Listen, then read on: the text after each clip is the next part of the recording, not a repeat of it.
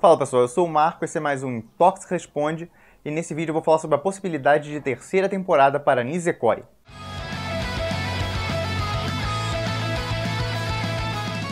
Nisekoi é uma comédia romântica que foca em um casal que tem que fingir estar namorando para que suas famílias, formadas por gangues, não briguem entre si. O anime já teve duas temporadas e agora muita gente quer saber se existe a possibilidade de uma terceira. Bom, vamos dar uma olhada nos dados e tentar descobrir.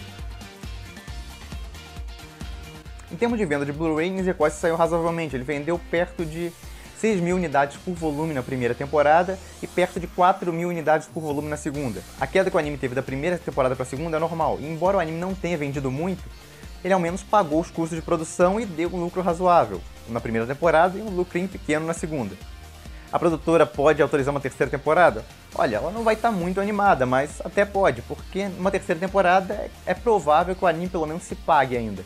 Então, se a editora da obra der uma ajuda de custo um pouco maior para compensar as perdas que a produtora pode ter, sim, ela pode autorizar uma terceira temporada.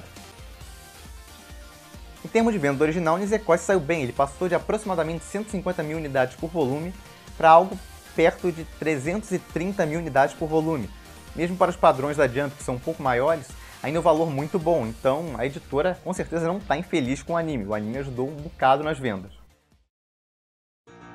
Bom, a editora de Nisekoi é a Shonen Jump. Tirando animes de audiência, que são praticamente infinitos até não darem mais audiência, ela não tem histórico de dar terceira temporada para muitos animes, mas teve Bakuman, por exemplo, que ganhou terceira temporada. Então eu não vejo grandes problemas em ela autorizar a terceira para Nisekoi também. Até porque pode servir como marketing para o final do mangá, dizem que está chegando ao fim. Bom, em termos de adversidades, Nisekoi não tem nenhuma. Eles adaptaram aproximadamente 6 volumes na primeira temporada. E na segunda eles foram do volume 7 ao volume 12.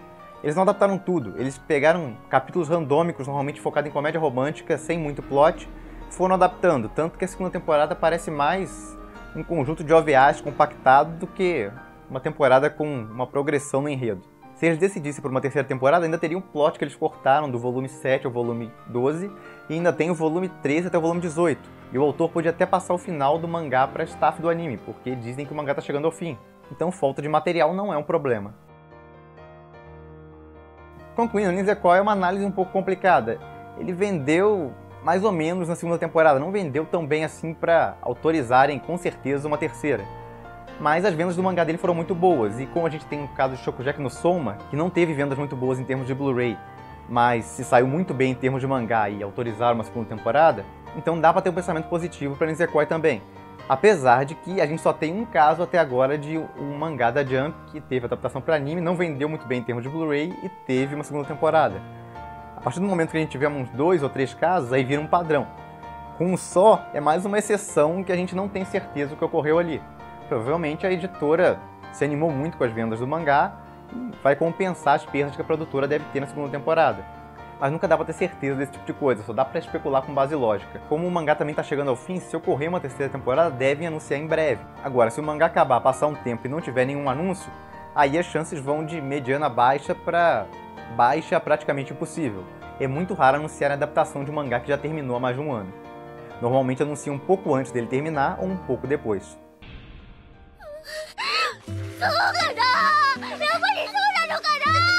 Mas atualmente as chances são pelo menos entre mediana e baixa.